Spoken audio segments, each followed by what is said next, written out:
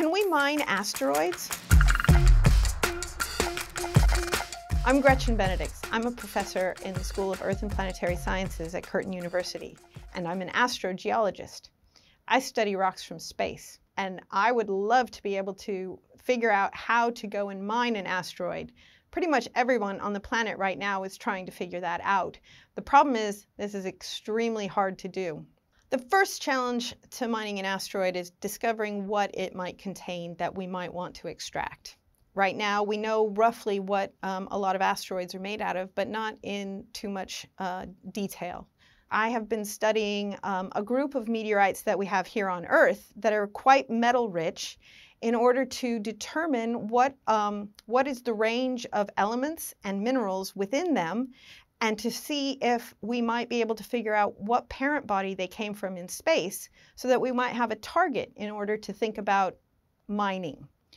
The second problem is getting the equipment to the asteroid and making sure that it can survive in space. On Earth, we have a lot of big equipment, we have a lot of big holes. We have a bit more flexibility in terms of figuring out how to extract the, the material we want to use and then how to further refine it if we want to. Getting all of that equipment to an asteroid is quite a task. Asteroids have a completely different gravitational system.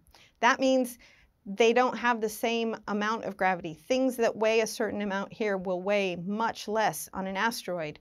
There are some asteroids where a human could throw a ball and it would, um, it would achieve escape velocity and fly away from that asteroid. But one thing that is really interesting about the extraction and, and um, mining of asteroids is what do we actually want to do with mining asteroids? Do we want to extract that material whatever it happens to be and bring it back to Earth? Or do we want to establish different depot stations along the way in our exploration of the solar system?